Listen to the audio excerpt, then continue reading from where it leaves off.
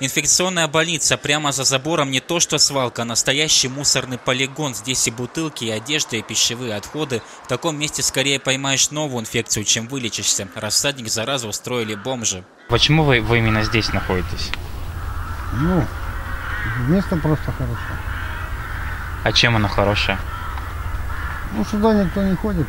Бродяги живут здесь уже второй год, отходы несут отовсюду, в том числе из больничных мусорных баков. Все контейнеры мусорные под замком у нас.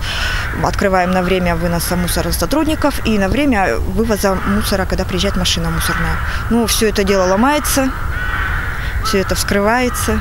Больше всего врачи опасаются, что маргиналы когда-нибудь устроят пожар, и еду готовят на кучах мусора, жгут костры, а вокруг сухая трава. Мусор, который они сюда принесли неизвестно откуда, он уже со временем гнить начинает, запах распространять. Сейчас вот весна все растаяло, запах.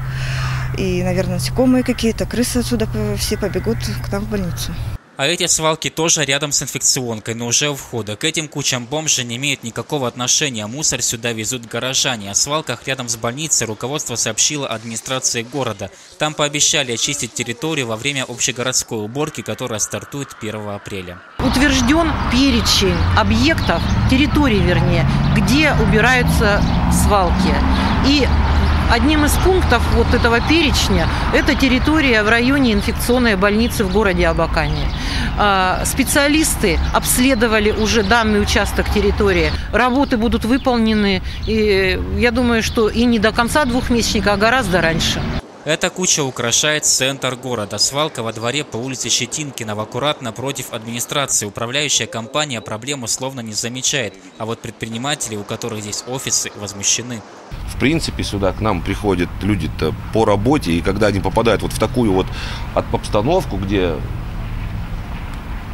стыдно подходить и страшно подходить, то они еще подумают, стоит ли сюда обращаться вот в этом, к этому предпринимателю или к этой организации за какой-то э, услугой, если они находятся в таком месте. Соответственно, тут такой вот круговая порука такая получается, что одни мусорят, другие не следят, третьи в итоге могут и страдать.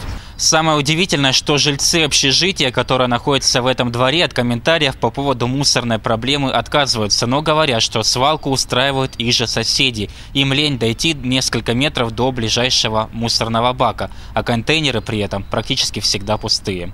Свалку на Щетинкина мэрия тоже заставит убрать, очистить дворы от зимних накоплений до конца апреля обязаны и другие управляющие компании. Виктор Буров, Сергей Казьмин, Вести, Хакасия.